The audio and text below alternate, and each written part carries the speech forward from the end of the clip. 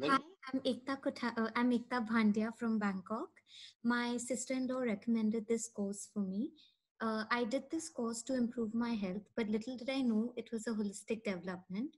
It not only taught me the pattern of eating right, but it also taught me the importance of spiritual practice in my day-to-day life. Sir very patiently answered all my questions and doubts. I learned the, uh, and he showed us the pathway of the correct lifestyle and a healthy lifestyle, which is free of having any kind of medicines.